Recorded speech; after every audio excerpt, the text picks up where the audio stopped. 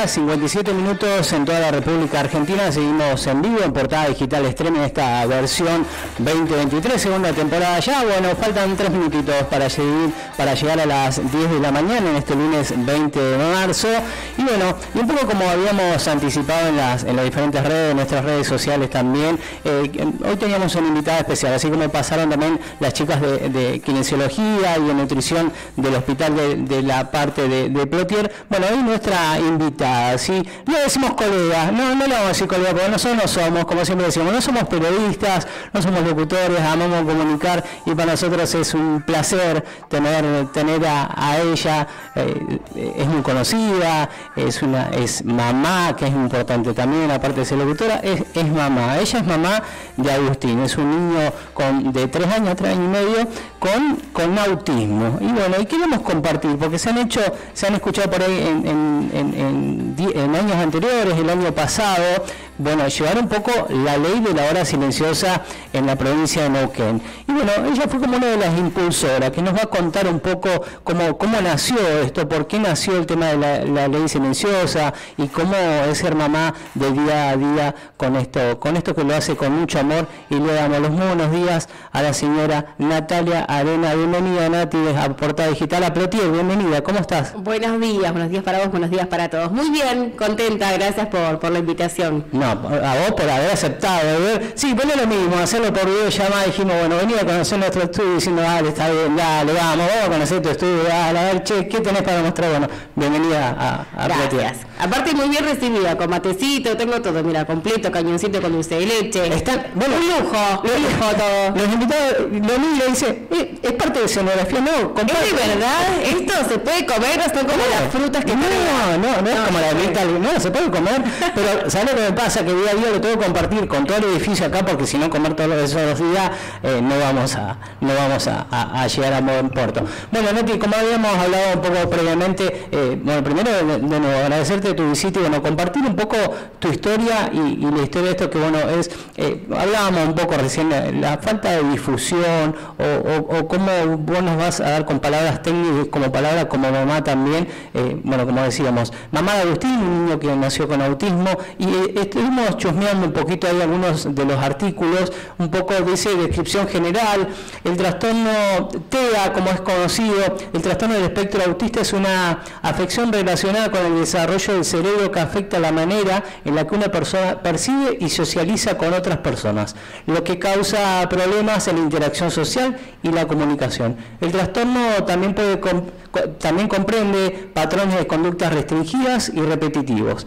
El término espectro en el trastorno del espectro autista se refiere a un amplio abanico de síntomas y gravedad. Y algo para resaltar, que, te escuchábamos en notas, en alguna nota que te hicieron en otro medio también, eh, con la parte de los síntomas, que esto, bueno, esto se puede eh, detectar en edad temprana, como dice alguno de los síntomas, algunos niños presentan signos de trastorno del espectro autista en la primera infancia, como menor contacto visual, falta de respuesta, cuando lo llaman por su nombre o indiferencia ante las personas responsables del cuidado. Un poco de la parte, en, la parte profesional de este artículo.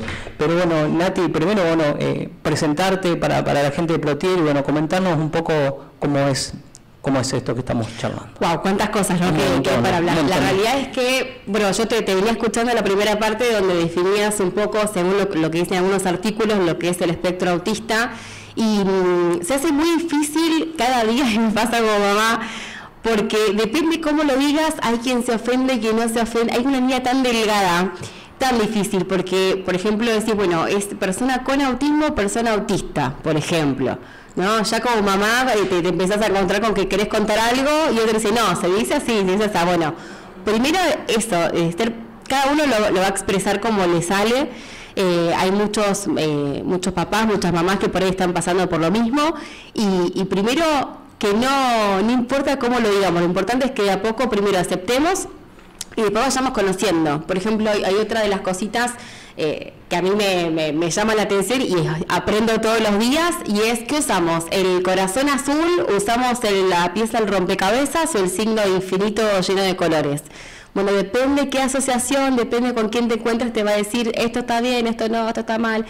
Bueno, primero quiero decir que pasé por todo eso porque me encontraba con, en las primeras consultas con gente que, que, trabajaba en distintas eh, asociaciones y, y, eso un poco me, me, me, ponía como, no sé si incómoda, parecía, ay, no quiero faltar el respeto, bueno, nada, cada uno pero, lo, mejor, eh, como hablábamos de, lo expresa como puede. Es mejor equivocarse, ¿no? Sí, más que equivocarse, en realidad pasa por esto que, que hablamos fuera de aire. Uno no sabe, o sea, estas cosas vienen como un balde de agua fría y lamentablemente nosotros en nuestra, eh, nuestra infancia no nos enseñaron sobre autismo porque no se hablaba sobre autismo, no nos han enseñado sobre dislexia, no aprendimos sobre síndrome de Down porque había como una, todo como una burbuja. Entonces, primero decirles y transmitir a quienes están empezando este camino que en ese sentido se relajen y que se tomen su tiempo para aprender, para investigar y que como lo querramos expresar va a estar bárbaro, que nadie les diga que sí, que no. Después, bueno, con el tiempo nosotros elegiremos eh, con qué estamos de acuerdo, con qué no, y cuando podamos interactuar un poco más con los tres chiquititos, ver cómo se sienten ellos bajo los, los términos que se usan también, ¿no? Lati, bueno, y contanos cómo, cómo fue esto, porque bueno, eh, eh, te escuchábamos el otro día en una entrevista que te hacían en otro medio de, de, de Neuquén Capital, ¿cómo, ¿cómo se identifica esto a edad temprana? ¿sí? O sea, ¿desde qué edad se puede identificar y bueno, cómo fue en tu caso particular también? Nosotros tuvimos...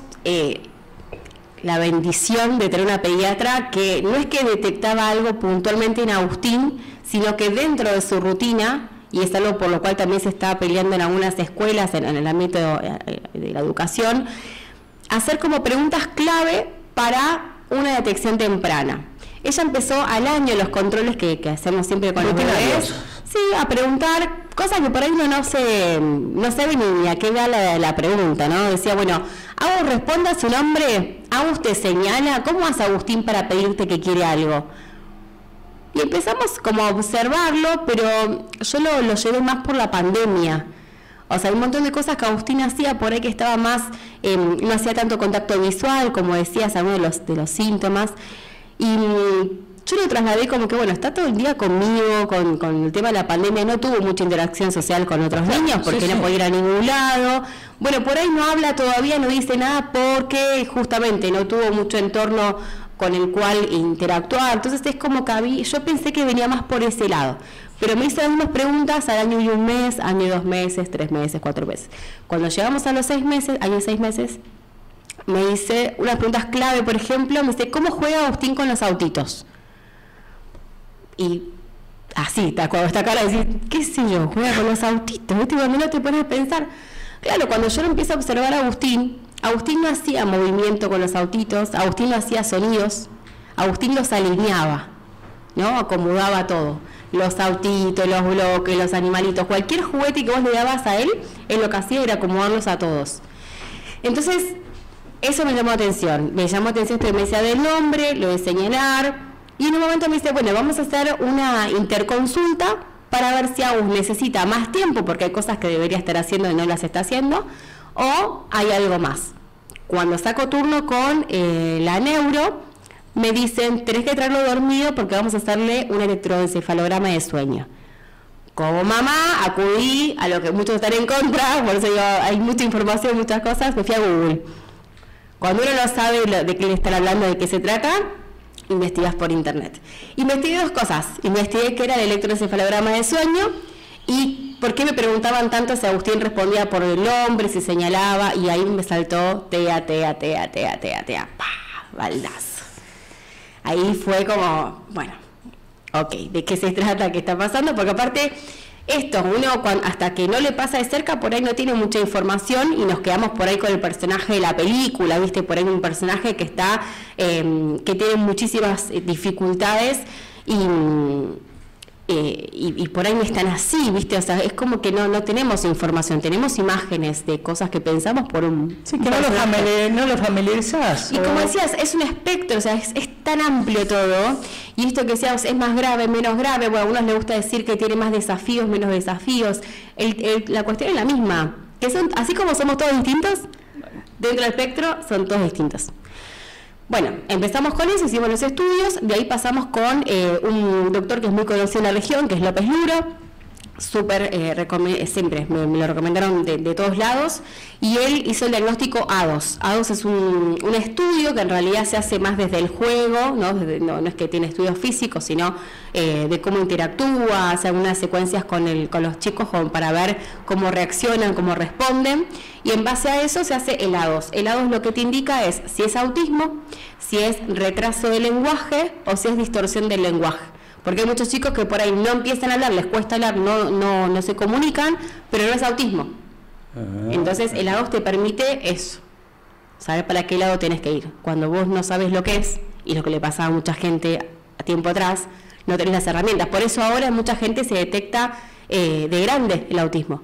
Porque ahora que saben de qué se trata y cuáles son esos síntomas que decimos, ah, a mí me pasaba eso de chico. Ah, a mí me pasó que cuando yo quería interactuar, ah, a mí me molestaban los ruidos. Entonces, es eso, ante la falta de información no podemos tener las herramientas para trabajar. Por suerte hoy las vamos conociendo. Y hay herramientas hoy, ¿cómo, cómo lo ves? O sea, ¿cómo, cómo lo ves la, la parte, bueno, que ayuda mucho? Bueno, este, eh, este, este tratamiento, este test, llamémosle, es algo que se, se, se empezó a utilizar en la zona hace poco, se utiliza en, en, todo el mundo. No, no, es algo internacional, ¿sabes? Es como un test, exacto. No, no llamarle test llamémosle... Se hacen juegos, este, de repente... Pero para ellos es importante, claro. Sí Sí, sí, aparte, bueno, de verdad que López Luro tiene una cancha impresionante y, aparte es muy, muy agradable escucharlo. Yo me acuerdo cuando empezamos con esto, que, que él me dijo en un momento estábamos hablando, me dice, bueno, yo llorando obviamente, porque te pasa, porque más allá de que no es un problema de salud, no es que, chicos, o sea, es simplemente que hay que aprender eh, cómo ellos ven el mundo, cómo lo perciben y tratar de ayudarlo, darle herramientas a él para que pueda eh, estar vivir mejor, digamos, ¿no? en, la, sociedad, que eso, bueno, va a lo que va lo de la ley, entre otras cosas. Y mm, el hombre me dijo, me dice, mira, vos me preguntás a mí, ¿a vos va, lo van a, ¿le van a hacer bullying? Sí, me dice. ¿Pero por qué un nene? O sea, Agustín no es Agustín un niño con autismo. Claro, no tiene un rótulo. Es Agustín. Es Agustín. Después aprendí o estoy empezando a aprender este último tiempo que se utiliza el hablar de mm, neurodivergente, ¿no? O sea, empiezan a aparecer conceptos que para mí son todos nuevos. Entonces, por eso les decía que les están empezando a transitar o sospechan que hay mucha información en Internet. Y depende con quién te juntes, te va a decir un término u otro. Lo importante es saber qué es, si es autismo, si es retraso o, em, o la distorsión, para poder con profesionales buscar las herramientas y avanzar.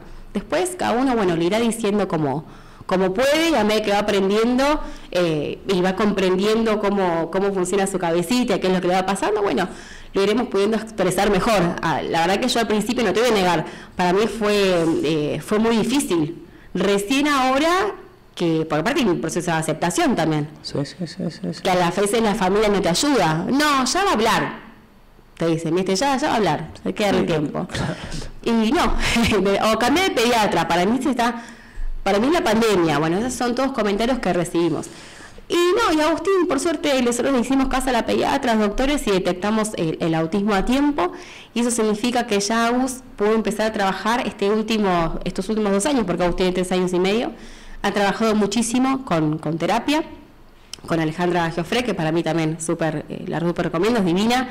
Ella es una doctora especialista en... Ella es psicopedagoga, es especialista, sí, es la que me, me, la recomendó López Luro y lo que hacen es un trabajo eh, constante en, la comunicación, ¿no? O sea, eh, primero con la utilización de pictogramas, porque aparte de eso, así, bueno, Agus va a poder hablar o no va a poder hablar, porque hay muchos chicos que son no verbales. Claro. Bueno, por lo pronto, es, ahí es cuando vamos a aprender la frase un día a la vez. No tengo ni idea de lo que va a pasar a futuro, pero por lo pronto hoy Agustín en ese momento se comunicaba con pictogramas y celebré cada avance que él hacía con eh, su carpeta, empezando a armar oraciones con los pictogramas y, bueno, y entendí que esa era su manera de comunicarse y yo tenía que también eh, adaptarme a eso, digo, yo también tenía que capacitar para estar eh, comunicada con él. Obviamente, soñamos un montón de veces con que decía mamá, nos despertábamos con el marido y soñé que hablaba Agustín. Es duro, es, eh, no, te voy a decir que es fácil, es duro, pero como es dura también la maternidad en sí, digo, se, junta todo porque uno tiene expectativas este, de, un montón de cosas que por ahí sí, bueno, no, porque a vos le molesta este, este, sonido, entonces no hay piñata, entonces... Te escuchaba hablar un poco, disculpame te interrumpa, te escuchaba eh, cómo maneja el tema de los festejos, de ir, de ir el cumple y tratar de no, de, o sea, y no cantarlo en, los cumple, no solamente en la parte familiar, sino también cuando, cuando va a algún cumple, en la general, ¿cómo, ¿cómo lo llevan eso? ¿Cómo fue, al, ¿Cómo fue al principio y cómo es ahora también, no? Eso también lo fuimos cambiando, porque como te digo, o sea, AUS va avanzando y también nosotros vamos trabajando nuevos desafíos con él. Al principio buscaba, eh, no digo no ir a los cumpleaños, porque Agus fue al que haya invitado, Agustín fue, siempre. Pero en el momento de la torta nos alejábamos porque no querían, porque se pegaba. Se, se pegaba, se golpeaba, te, te, pegaba vos, se tiraba al piso. Digo, ¿para qué lo voy a exponer a eso si ya sé que no?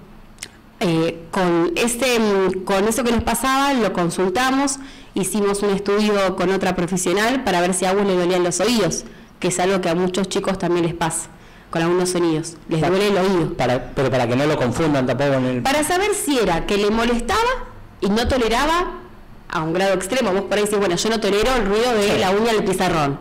Bueno, por ahí es un sonido que él no toleraba, pero no sabe cómo expresar, no puede poner en palabras, o sea, eso que tanto le molesta. Y la otra era si en realidad el sonido del aplauso y los gritos le dolía el oído, porque son cosas distintas. Nosotros pudimos saber que no, no le dolía. Entonces empezamos a trabajar sobre. Pues digo, todo es, bueno, ¿qué pasa? Si esto o lo otro, ok, es esto, vamos a avanzar. Lo último que charlamos ahora con, eh, con el doctor, en principio hacíamos el aplauso sordomudo, invitamos a nuestra familia cuando hacían el aplauso de, no sé, para el asador, que hagan los brazos arriba, y la terapeuta me dijo que no, que en realidad de esa manera íbamos a acostumbrar a Agustín, que sabía algo que le molestaba, que él enseguida se iba a poder salvar de esa situación. Y el mundo real no es así. Claro, o sea, le iba, le iba, a mostrar algo que realmente no, iba a hacer, que no es. Entonces, si no le el oído, porque ahí está la, gran diferencia, ¿por qué voy a evitar que se aplauda? Porque aplaudimos todo el tiempo, encima, como que sí, sí, no va a gritar, todo el tiempo estamos aplaudiendo. Capaz que le un mal, o sea, justo van en la calle y capaz, entonces como llevándolo a... Si vos lo retiras de todo... Es peor. No va a poder llevar una vida normal. Claro. Porque no va a poder adaptarse nunca a nada. Entonces, elaboramos lo que se llama una historia social, que es donde jugamos con todos los pictogramas y le vamos contando qué es lo que va pasando.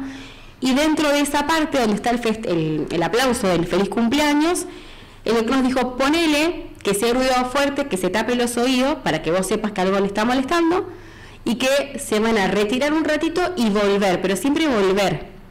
Vamos a volver a esa situación.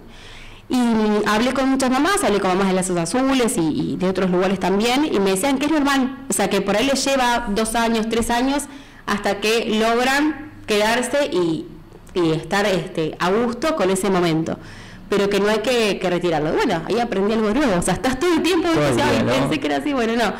Puntualmente con esto de los ruidos y la detección temprana, antes de recibir el diagnóstico, me pasó de ir al súper eh, un par de veces y, y yo tenía changuitos llenos, que yo en el momento del Walmart, que ahora es chango más, em, y me tuvieron que ayudar porque Agustín se empezó a pegar en la cabeza, o sea, estaba en un momento, y yo dije, este es un berrinche, un capricho, porque lo primero que pensás, cuando ves a un niño tirado al piso que se pega, pega a la mamá, ay. Sí, mirá el niño. Qué mal educado, qué caprichoso, pobre mamá, ¿no? Bueno, y en ese momento yo pensé que era eso realmente, porque no, no a mentir.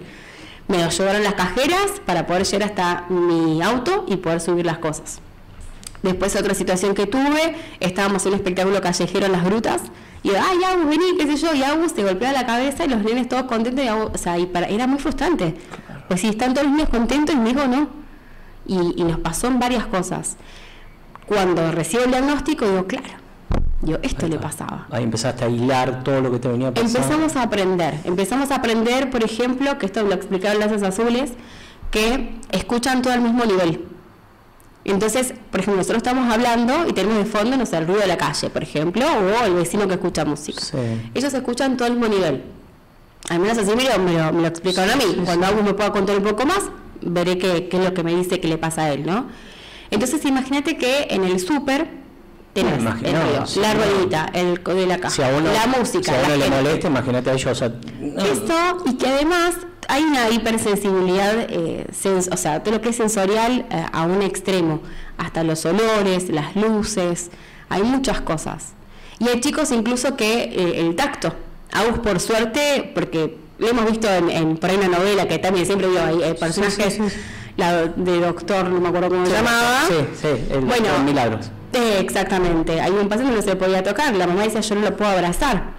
Bueno, estas cosas pasan, hay chicos que no pueden no tolerar las etiquetas de la ropa o, determinada tela es la que toleran. O sea, hay muchas Pero eso se puede ir trabajando, ¿sí? Se va trabajando hasta calculo yo hasta un punto. En el caso de Agus, por ejemplo, teníamos esto de las manos, lo que era la témpera, esas cosas él no las podía tocar, la, comida la discriminaba por color, tenía que ser todo el mismo color, no lo puedes mezclar eh, colores en el plato, si lo ve cremoso no lo va a comer. ¿No lo come o te, lo da? Yo, todas las preguntas que por me van ocurriendo es para, para la mamá que está del otro lado también escuchando, por ahí, diciendo, che, ah, esto le pasa a mi nene también. En el caso de la comida, ¿sí? Ve, bueno, diferentes colores que eh, se queda callado y no come o, los... no, no come. Directamente. Agustín al menos no come. No se altera, ¿sí? ¿Se altera o no, pero no quiere, y vos decís, pero si tiene hambre, ¿por qué no come? De hecho me pasó una vez, y fíjate, por eso uno aprende y es como que tiene que tener la cabeza, pero más allá de los profesionales que, y, las asociaciones que te acompañan, aprendes un montón, también es conocer a tu hijo, ¿no? Y entonces de repente esa intuición que uno tiene, no importa, si autismo o no autismo, no importa, la intuición que uno tiene con, con sus hijos. Entonces de repente día le servimos los fideos tricolor. Claro, el que viene... Y no comía yo, Danilo, tiene hambre, si no comía en toda la tarde. Y los fideos le encantan porque los fideos es con manteca, todo lo que es clarito. ¿Todo lo que le gustaba? La, el yogur, la harina, galletita de vainilla, todas esas cosas le encantaban. De ahora está un poco más amplio. Y, y digo, es porque tiene tres colores de, de fideo. No, no puede ser. Sí. Y le separé, tuve que separar todos los fideos que eran cremitas y ahí sí comió todo. Pero no me lo decía. De hecho, todavía no hay una, una comunicación fluida. Está de, a poquito aprendiendo palabras, las dice, no hay buena pronunciación. Todo lo estamos trabajando, todo se trabaja. Pero en ese momento que eres un niño que no habla, y dices, ¿qué pasa acá? vos sabés que tiene hambre, como vamos a ver que tiene hambre entonces, o se siente mal o, hay algo que va más allá. Bueno, ahí descubrimos que sí, que había una cuestión con los colores, con las texturas. Y eh, esto, la fruta, por ejemplo, en la garra te dice está mojada. Entonces, ya, listo. no la quiere, por eso comía solamente banana. Bueno, ahora fuimos trabajando con jardín, con terapia, en la colonia, a todos lados donde va, trabajamos, trabajamos, trabajamos, y ahora come manzana, el otro día comió pera, bueno, de a poco eh, lo va tolerando. Ahora pinta con los dedos, antes no podía tocar, la tempra le daba como asco. Entonces es como que tiene mm, eso, como que hay muchas cosas que no, mm, la, la sensibilidad. Pero bueno, se, hay cosas que se pueden trabajar, sí. Nati, como mamá y bueno, como papá también, como con tu pareja, eh, y, y cómo, cómo lo van, eh, ¿qué recomendás? O, o, a ver, ¿cómo, por dónde la pregunta? Sos de seguir, eh, te ha pasado vos, porque bueno, los doctores te dicen no, eh, no le des esto, esto como un manual, ¿sí? No, no debe haber un manual, debe haber un manual, pero decir, eh, sí doctora, yo la recontra entiendo, esto es lo que dice el manual, pero en mi casa yo trato de, hay veces que te corres un poquito el manual como para ir todo el tiempo, todo el tiempo me corro, porque me pasa y que les va a pasar a la, insisto, olvídate del diagnóstico cuando viene la, la, la, la, suegra, tu mamá, la tía, y dice, ay, no tiene frío, ponerle medias en los pies. No. Ay, pero ¿por qué no le das la comida? ¿Por qué no lo bañas? Hacer una rutina que bañe, bañar a las ocho y media. No, porque nosotros tenemos otra rutina. Entonces, escucho todo, leo un montón. Eh, sigo eh, personas con, eh, que tienen autismo o son autistas para, para ver su palabra en primera persona. Veo series, estoy viendo Atypical, por ejemplo, que la recomiendo. Eh, escucho todo, pero después trato de, primero, entender cómo es mi hijo, lo que le gusta a mi hijo, o trato de entender qué es lo que siente mi hijo, y también es eh, nosotros como papás de todo armo lo voy captando ideas cosas, pero lo adapto, como debe pasar en calculo yo a otras mamás otros papás que, que también tienen un niño autista en sus hogares. Cada uno va probando cosas. Son todos diferentes también. Entonces esto es decir bueno cuando mejor hagamos el, el aplauso sordomudo perfecto. Después te dice no mejor lo hagas bueno con qué me quedo no es verdad. Yo prefiero que se exponga los aplausos, tampoco lo voy a meter en medio. No, sí, sí, un cumpleaños, 50, sí, sí. Claro, una banda en vivo. Pero de a poquito, que entienda que es parte de la vida, porque si no, aún no va a poder hacer nada. Y esto, me vuelvo al, tema del súper, cuando yo empiezo a aprender sobre eso, me encuentro con que eh, fuimos un día al, no sé si puedo nombrar el supermercado. Sí, todo. la COPE, la COPE que viene hasta acá, porque me la paso peleando con la COPE. Fuimos a la COPE, la música al palo, que esto, que lo otro, bueno, toda la, situación. Y escúchame, digo, eh, tienen que ser un poco más empáticos, o sea, tengo, me pasa esto con Agus, aparte vamos siempre. Esto fue hace, fue un, par de meses antes de que, de que se arme lo de la ley. Y digo, hay otro super, Carrefour, por ejemplo, hace una campaña que es la hora silenciosa, que esto que lo otro. ¿Y por qué no venís sin el nene? Me dicen. No. No, no es respuesta. Porque aparte yo el día de mañana no voy a estar. Y mi hijo tiene derecho a ir al supermercado. no, no ¿Qué hace? mamá, me voy a quedar Ojalá que esté estas aplicaciones de, envíos todo el tiempo, porque si nadie va a hacer nada, entonces mi hijo no puede ir al super. A ver, mi hijo por suerte tolera bastante. Hay otros casos que yo sé que no. Y, y ahí estaba el tema. Yo, bueno, hay acá una cuestión que hay que que dar a conocer, porque mucha gente no sabe, así como yo no sabía nada sobre autismo y todos los días aprendo, me equivoco y aprendo. La, la gente, que no... La general, que yo le tocó un caso de cerca, no sabe. Y el tema era, y eso es lo que yo planteé en las redes sociales, y ahí lo tomó una diputada para, para llevar adelante la ley, era la discapacidad es, eh, esta discapacidad es no visible. Vos ves a mi hijo y dices, ay, no parece autista no le voy a poner un cartel tampoco. Pero el autismo no es una cuestión física, va por dentro. Entonces, no, nadie te va a parecer que es autista, no, porque no, no es que parece sí o parece no, no parece tan autista. Son términos muy raros, es autista y todo bien, va a ser autista toda la vida porque es algo que, que va con él, es, parte de su identidad también. Y, cuando surgió esta, esta, esta, que hablaste con una colega, que es una colega, una colega en común que tenemos, eh, que es una genia, que es eh, un beso a Varela. ¿Cómo, ¿Cómo surgió usted diciendo, Avi, eh, quiero que me ayudes a difundir esto? ¿Cómo fue ese proceso al principio? Ella me dijo, Nati, vimos esto, me, me, me parece que, que es importante y ella en ese momento trabajaba con, con la diputada eh, de prensa, palabra Dijo, lo, planteamos como para ver si se puede llevar adelante como ley, más allá de que Carrefour lo hacía por cuenta propia, ver si se puede llevar adelante. ¿Ya hay una ley nacional? ¿Había una ley nacional? No, ah, no, no, no hay. Y mm, entonces ahí fue que le conté un poquito, a raíz de eso, eh, yo en ese momento trabajaba en, en la radio y le hicimos una nota a la, a la diputada para hablar sobre este proyecto y me di cuenta que había muchos grises, muchos baches, muchas cosas que no. Entonces me junté en su despacho y bueno, yo lo mismo haga, yo te cuento mi experiencia, no, es que yo tenga la verdad absoluta, ni que te cuento lo que yo pienso, lo que voy aprendiendo. Y mm, yo le decía, lo más importante no es que baje la luz una hora a la semana o el sonido, es que capaciten al personal. Claro. Me encanta que tengamos una hora donde... Aparte hay mucha gente que de verdad que no es autista y está agradecida de no tener tanto lío cuando vamos al supermercado a hacer las compras. Pero lo más importante es que la gente se capacite, justamente porque no es una discapacidad visible. Y si yo eh, tengo, veo que estoy en el súper, porque fui con mi hijo, porque como hijo de la copa, y no pude dejar a mi hijo con alguien más, vine al súper con mi hijo.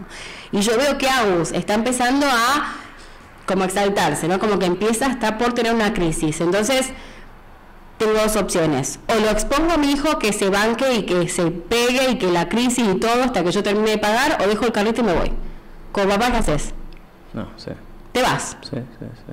Entonces, es importante que los que estén trabajando dentro del súper entiendan por qué lo que se le, aprendí también que en lazos azules, esto como de la prioridad prioritaria. No es porque uno quiere hacer más, menos, quiero pasar primero yo porque se me antoja. Es porque por ahí una mamá que está con un carrito con el bebé puede esperar un lugarcito más. O sea, tiene prioridad porque... Es como maneja, no sé si llamarle más... Pero si un, niño que está, un niño o un adulto, pues yo un niño porque tengo un hijo de tres años, pero va a crecer a un momento. Pero si una persona está por entrar en crisis porque no soporta el, el, espacio, porque justo nos fuimos en, en, en de luces bajas, es importante que sepan que debería tener eh, prioridad.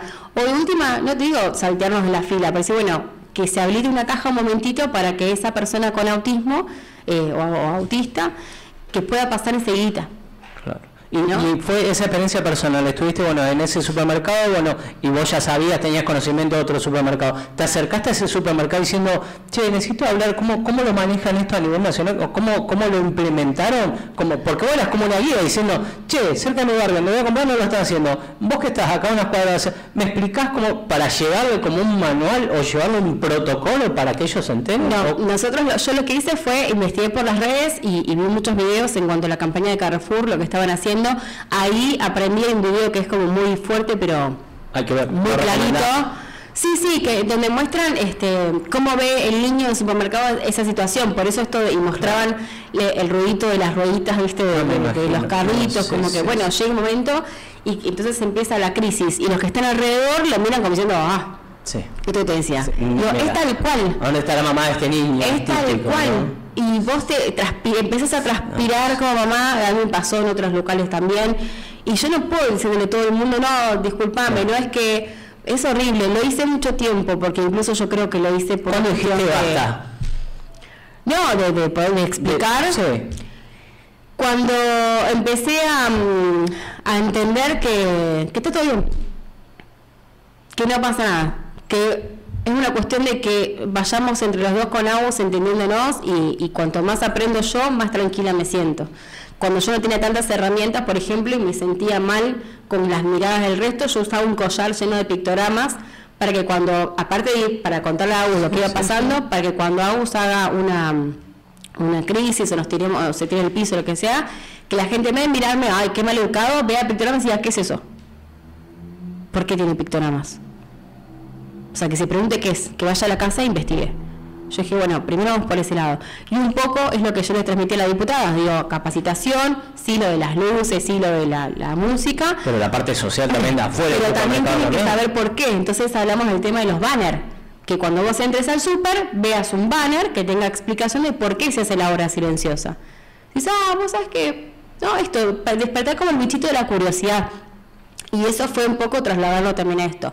Después surgieron otras cosas, después ellos se juntaron con, eh, con distintas asociaciones, con Faro Patagonia, Los Azules, con SEA, y em, aplicaron más conocimiento de lo que yo tenía, de lo que yo tenía. Yo todo lo que te digo lo fue como un fue un puntapié, ¿no? Sí, sí, sí, sí, porque ellos le, tenían que dar eh, la, la como forma, la, la todo esto. Y aparte sumaron algo que está bueno, que claro, como a mí no me pasaba con AUS, lo, salté lo, pasé por alto, que era el tema de que el súper tenga a disposición taponcitos para los oídos o los auriculares. Algo tan simple. Entonces, si vos vas con tu hijo y no caíste justo en la hora silenciosa, porque tenés que ir a otra hora, con otros, que tengas la posibilidad de que tengas aislante.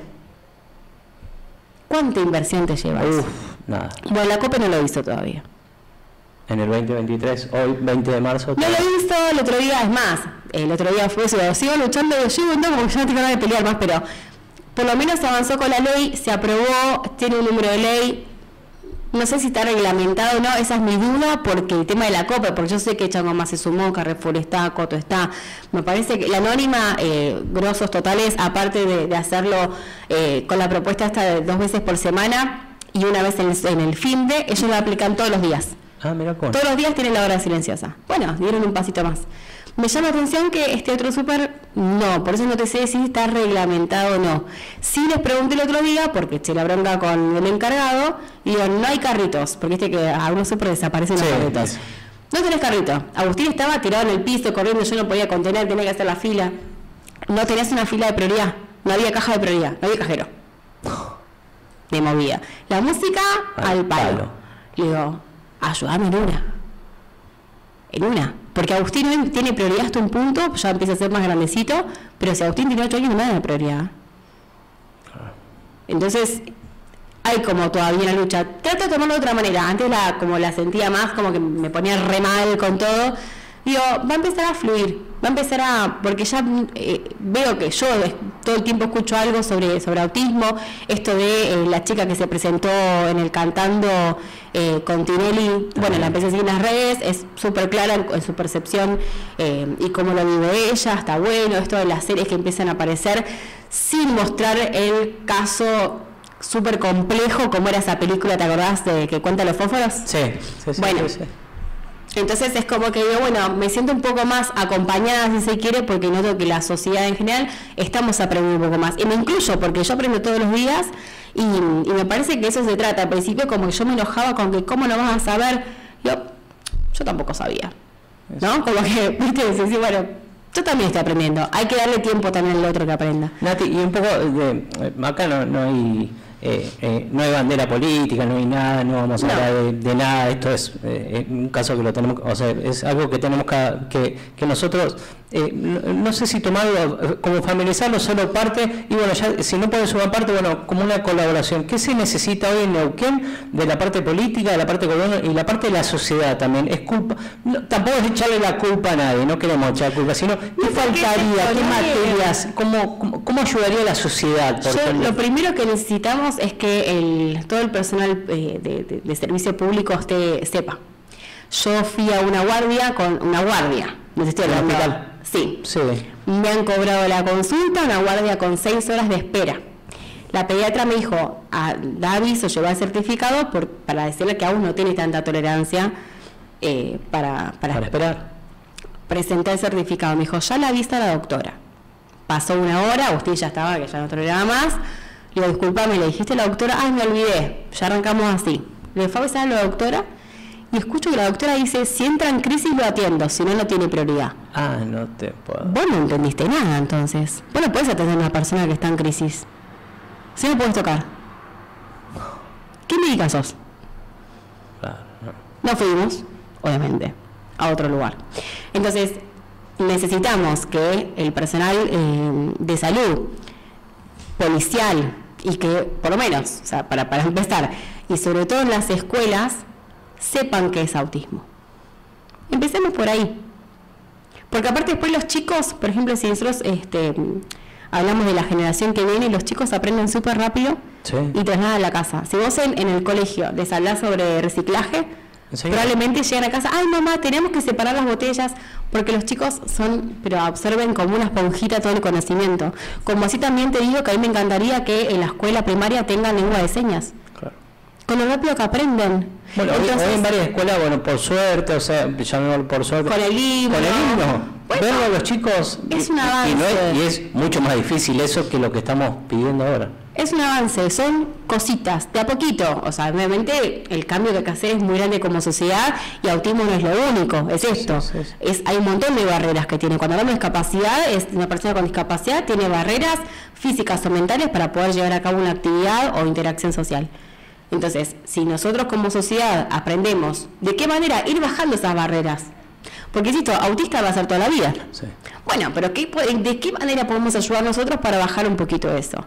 ¿no? Decir, bueno, en la persona que es sordomuda, sordomuda todavía. Sí, Entonces, ¿qué puedo hacer? Bueno, aprendamos lengua de señas.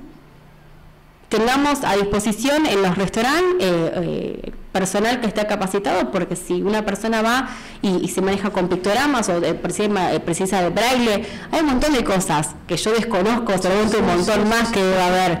Pero el, cambio es tan grande que obviamente no podemos esperar que sea de un día para el otro. Pero empezar a cambiar uno, bueno, vayamos a hacer un curso de lengua de señas.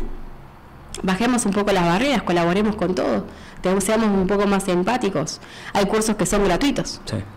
Bueno, están las redes también, que ayudan mucho también. También, un poquito, no digo que seamos todos especialistas, imagínate que no nos da, pero empezar a conocer un poquito, pero por sobre todas las cosas yo creo que estaría bueno hacer talleres en las escuelas. De ahí llega a la casa. Arranca todo, es la llega a la casa, es como educación vial, educación vial sería genial que los chicos ya de primaria sepan claramente cuáles son las señales de tránsito, que sí, que no, porque aprenden muy rápido y lo trasladan a la casa. Es más fácil enseñar a los chicos y los chicos a los grandes que como cara grandes a un taller. Sí, sí, es mucho más. Es más fácil. Para mí, hablo desde mi ignorancia del tema. pero para mí, porque a vos, eh, a mí me enseñó un montón con tres años y medio. No me quiero ni imaginar cuando vaya a la escuela primaria y aprenda cosas ahí, seguramente voy a aprender mucho más en casa. Y seguro que pasa en todos lados. Y en estos meses, en este tiempo, ya casi un año, eh, eh, ¿ha tenido la posibilidad o, nada, ningún llamado? ¿Te han llamado para ir y, estás dispuesta a ir a exponer vos como mamá y para ayudar a lo que es capacitación? ¿Todo eso?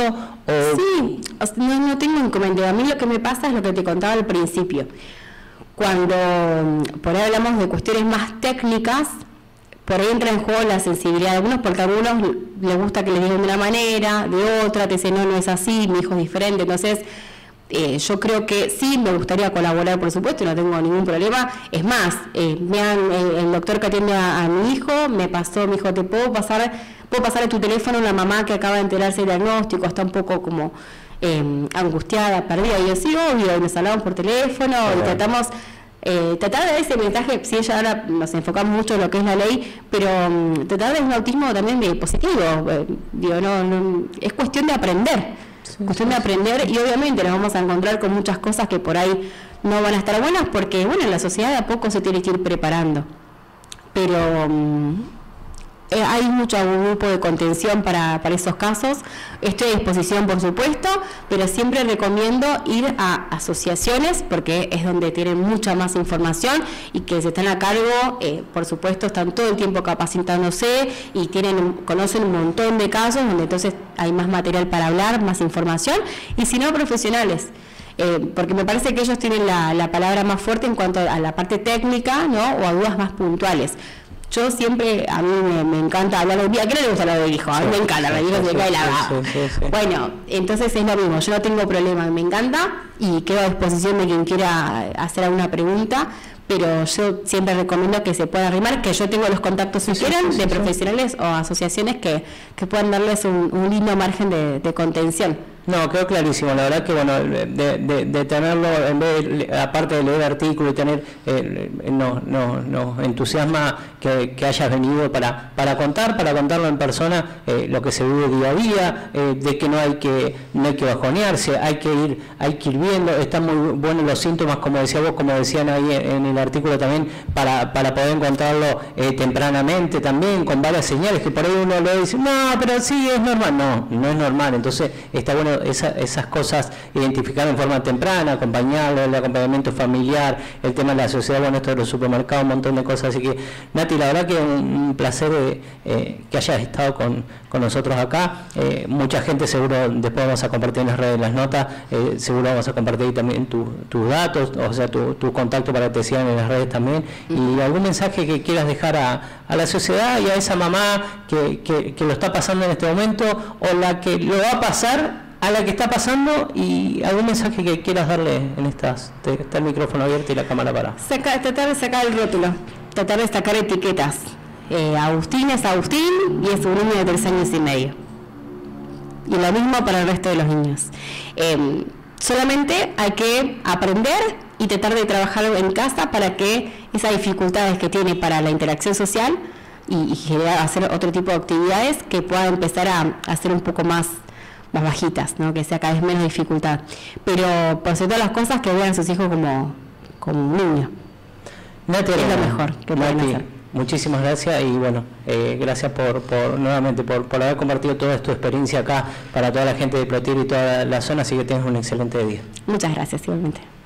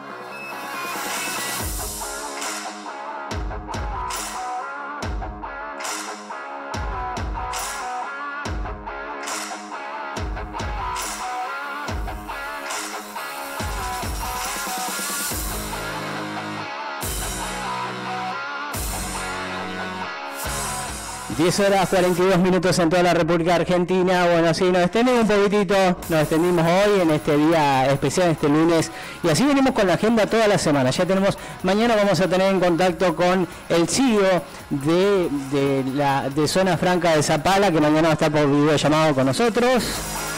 El miércoles tenemos a Luis Terrón y el Teatro El Zaguán. El jueves tenemos con la gerente comercial de la aduana de la provincia de Neuquén, que es la señora Natalia Murguera, Muguerza, disculpen, va a estar el, jueves. Y así vamos a ir terminando ya toda la, semana con toda la entrevista y la semana y la otra semana también vamos a estar a full con con la agenda directamente acá en, en portada digital, en versión streaming 2023. Bueno, ahí estamos terminando de disfrutar nuestro riquísimo desayuno de los chicos Le Cruzan, Panadería y Pastelería de Plotier. Los podéis seguir en Instagram como lecruzan.plotier y en Facebook como Le Espacio Cruzan o en, su, en, la esquina de Roca y Chile de Plotier. Agradecemos a todas las firmas comerciales de la localidad de Plotier Agradecemos al Consejo Deliberante de la localidad de Plotier, a toda su parte de prensa, administración y maestranza.